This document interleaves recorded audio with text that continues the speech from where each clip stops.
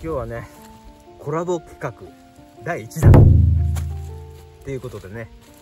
えーと底辺元ブロガー UC チャンネルとえー、白ライダーのことをしろうと申します。よろしくお願いします。今日はね、まあ、お互いがお互いのことを質問し合うというね企画になってて今日ね明日ねまた違うあのコラボのツーリング動画になります。そうですね。あの明日は。天気にね。えて天気にそうなんですよ。あのちょうど天候が悪くて、うん。うん。そう今日もね俺もう打たれちゃったね雨にね。ちょっとナイスなところをねやっぱりこうげ勇気づけてくれたんでね。ねやいやいやなんもそんな。ね。ってことでね質問コーナーって全然まあそんな考えてないんだけどまあありきたりなことをねいろいろ聞いていきたいと思います。はい。よろしくお願いします、はいよろしくお願いします。じゃあまずね一つねあのバイクを乗るきっかけ、そうですねきっかけですね。うん。きっかけは自分16まあ高校の時に、はいはい。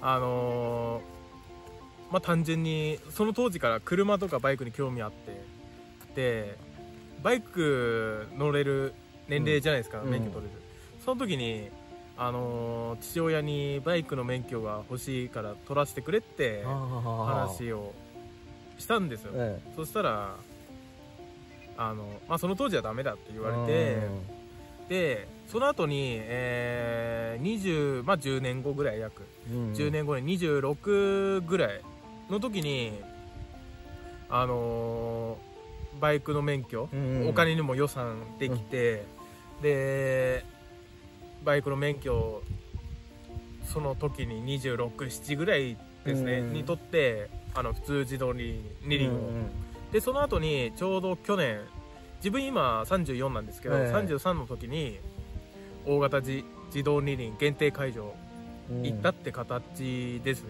うん。なるほどね、はい。やっぱり10代ってねやっぱそういうちょっと大人の階段にちょっと差し掛かる時にねやっぱり乗りたいもんねそういうのこう見るとね。ね。はいはい。だじゃあ次はねちょっとこれ最後にしておきたいんだけどまあいいか。じゃあ家族構成は？ああ家族構成。はい。家族構成は、うんえー、5人家族です。5人家族。おで、まあもちろん父親母親、で自分3人兄弟で、うん。で一番下なんですよ。一番下で上が、えー姉と兄。あ。で姉が5つ離れてるうんんですよね、うんで兄が3つ離れてます、はいでまあちなみにその中でバイク乗ってるのは父親と自分だけ。ああお父さん寄りになったんですね、じゃあねそのシまあロさんがね、お父さん寄りそうとかですね。もう完全に。うん、はいそうお兄さんは乗ってない？は乗ってないですね。車にも興味なくて。ああ、なんかねやっぱりお父さんが乗ってるとねだいたいね背中見て育つから、うん。ね、乗りたがるもんだとあまあだからシロさんはそのお父さんのね血を受け継いだ、まあ感じですね。本当はあのーバイクの免許取るって言った時にうん。危ないからやめろとは止められたんですけど、ね。それを押し切って26、ね、67の時に取りに行ってるんで。なるほど、まあ今今ではもう親子でうん。たまに暇あればツーリング行ってるって感じです。うんなるほど。仲いいですよねほんとね。じゃあ次はねあのね実はね結構有有名 YouTuber あの元ブロガーとしては結構やってたんだけど前違うチャンネルで結構収益得てる、ね、先輩 YouTuber なんですけど、その YouTube を始めたきっかけ。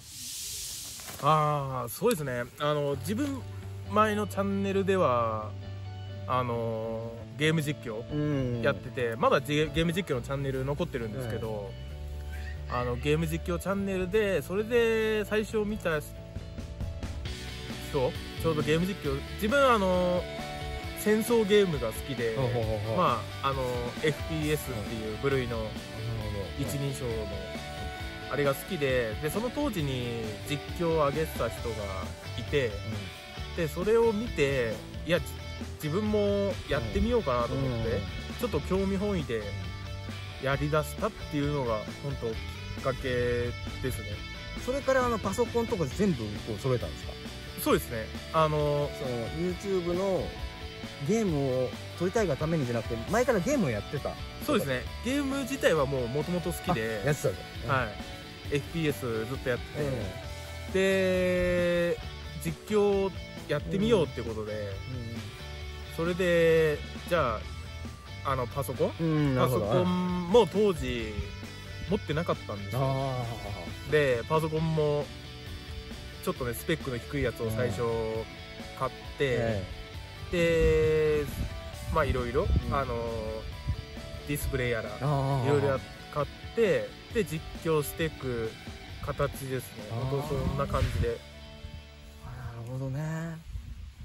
じゃ次の質問ですけどあのバイクを25でしたっけ？26そうですね、で撮ったじゃないですか。一番初めに乗ったバイクあー一番初めに乗ったバイクはあのーすっごい古いバイクなんですけどあのー鈴木の RH250 っていうあのーオフロードね。オフロード用のあの2サイクルのバイクででそれまだうちにあるんですけどあうん、あの父親がずっと昔から持ってて、で話によると当時のそのハスラーうんわかります？うんわかります。のオレンジタンクって3型のあるじゃないですか、三型ってのはちょっとわかんないですよね。わかんないです。黄色いのイメージしかないんだけどね、なんか3型がオレンジがあって、うん。それが自分の父親がうん。学生の頃当時乗ってて、うん。その次に出たやつが噂によるとその RH250 ってやつなんですよね。じゃあ昔からやっぱりバイクとは携わってきてたんですよね。要するに小さい頃から。お父さんの背中を見てはい。来たってことはやっぱり根っからやっぱりバイクに精通してた、感じですね今思えば。うん、ね。ではねあの今乗ってるバイク。今乗ってるのは、えーまず NSR250MC21 ですね。それとあと、えー今年の5月に買った、えー Z900RS 出た。の火の玉です、これがねないんですよ。だから今ね。そうなんですよ。今、うん。ないんですよ自慢の一つのねファイヤーパターン。ねそうですね。Z900RS で皆さん知ってるでしょ？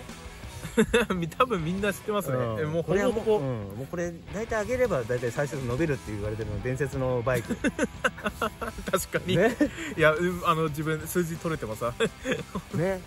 まだねだけどねもうすぐせ1000人登録者数いったんだけどまだ時間がね達してないってことでまだこれから、そうですね。まあ、すぐなると思うんですよね。まあそこで収益得たらね、またツーリングこのキャンプグッズもね購入してもらって、まあそうですね。あのどんどんいまあ予算があればいろんなこともできるんで。うんそうですね、うん。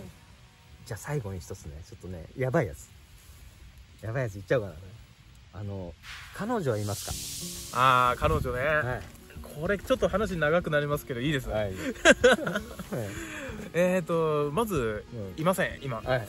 でえー結婚もしたことないです、でちょっとね話になるんですけど2年前に彼女いたんですおよ。おあの看護婦の人ですけど。あいいな。ちょうどあのまあちょっとね収入の話になっちゃって、でねあの収入の話でやっぱり向こうの方が収入上だったんで、うん。それでちょっとあのいざこざがあって、多分おそらく一緒になるっていうそういう話まで行ったんだけど、うんうん。ちょっと収収入の話でやっぱ向こうの方が上だから、うん、男としてはやっぱり辛いとこが。そう。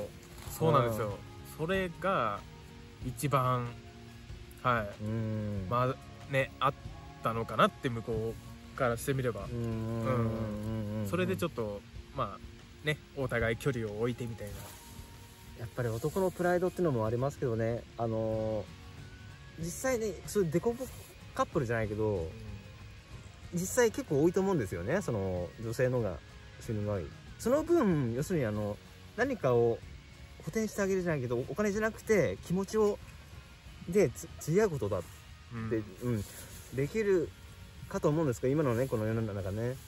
なかなかそれでやっぱりフィーリングが合わなかったりするとやっぱりそうなっちゃうのかなとは個人的には思いますけどね。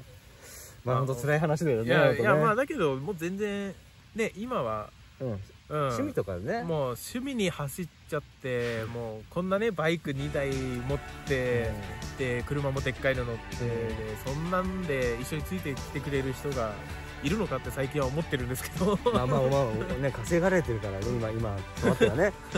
だと思うんですけどね。まあちょっとねちょっと長くなっちゃったんですけどまあシロさんシロライダーさん北海道で結構ねあの有名っていうかこれから有名になってくるっていうかまああの登録数でいうと結構上の方へ、まあ、まあへ平均じゃないんだけどまあ、まあまあそまあうん。そこそこみたいな感じだとは思うんですよねね見るだから限りは。だからもう先輩元ブロガー、まあ、YouTuber で私は底辺なんでもう底辺を、ね、維持していこうと思って ねと思ってるんでまあまあゆまあ底辺っつっても、まあ、いろんな底辺があるんで、まあ、今後ね1000にもし達したらそのね底辺の理由をね語っていきたいと思います。今日はねシロさんシロライドさんありがとうございました、はい、あいえいえこちらの方こそ本当ありがとうございましね、た、コラボしていただいて、はい、明日またねツーリング動画いけたらね。そうですね。行けたらまあまあほぼほぼ行くと思うんで、ね。午前中ね。ちょっとね、はい、場所はまだちょっとね四郎さんのちょっとおすすめのポイントがあるというので、ね、ちょっと楽しみにしていきたいと思います、はい。じゃあ四郎さん今日は、はい。ありがとうございました、いえいえほ良い一日を。はいこちらの方こそありがとうございました、はい。じゃあね。はい